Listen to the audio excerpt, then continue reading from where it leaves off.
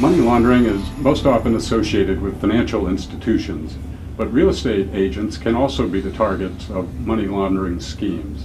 The banks and now non-bank mortgage companies have programs in place to detect money laundering, and they're, they're, they're quite effective. Um, but it doesn't completely mitigate the risk, and that's why we're sort of talking about the risk factors here. Um, what we'd like to do is sort of raise awareness of, of the risk factors that I'm going to discuss. I think when you look at the risk, you're looking at three sort of different categories of risk. And, and the real estate agent or broker is trying to, is trying to assess how risky, how much of a problem this particular transaction is. The first risk deals with geography, and that, that is sort of where is, where is the person located, where is the source of funds?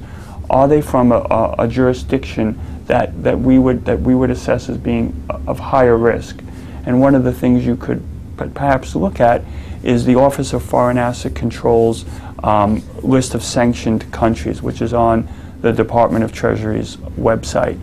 Um, the second uh, sort of category is, is what I would call transaction risk.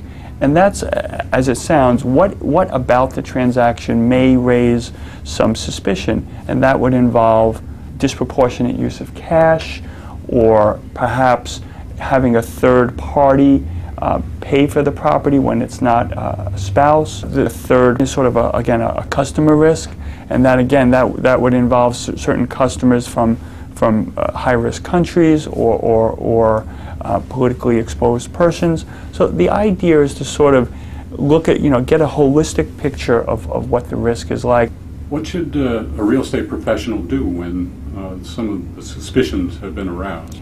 If you think there is a risk, I think what, what the NAR um, calls for and what actually the international community calls for is for you to do some sort of due diligence. And that really involves sort of identifying who you're dealing with. If it's uh, what we call a natural person, then sort of a, getting their sort of ID if you can. Thank you.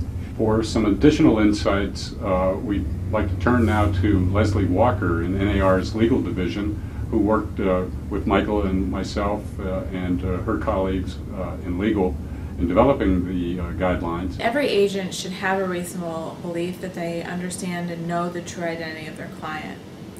However, in instances where a real estate professional is not sure that they understand and know the true identity of their client, perhaps they're working in a non-face-to-face manner with their client, an agent needs to take additional measures to identify their client, whether that's through collecting additional information from their client or through third-party sources to confirm certain information or collect additional information.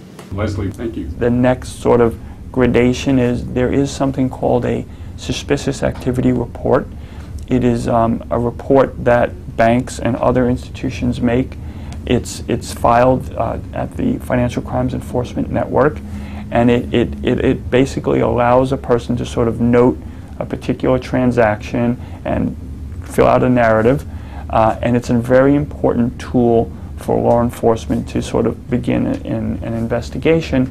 And again, that we call it suspicious activity report, can be found at the U.S. Department of Treasury. It's a completely um, voluntary uh, obligation. And I guess the last sort of thing, and I, I, would think this is the most extreme, but you could contact the local law enforcement, uh, your Attorney General's office, or even the FBI or the uh, IRS on, at the federal level. Thank you. Uh, of course, there is one uh, mandatory uh, action that real estate professionals should take, uh, must take, when they're uh, presented with $10,000 or more in cash or combinations of cash instruments that total more than $10,000, and that's to file a Form 8300 with the Treasury Department or law enforcement. And our paper goes into detail on that.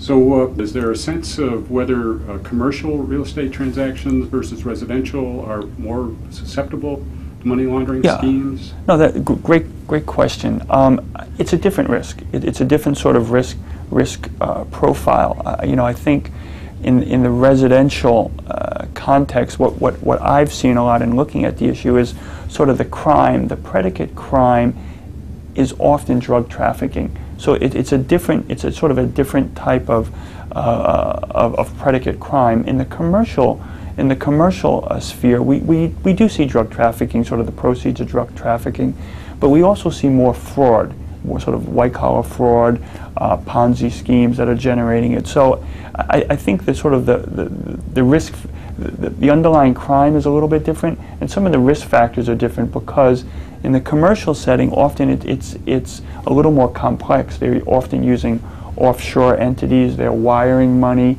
So it, it, it's, it, I think the, the, what it looks like to the real estate agent is a little bit different.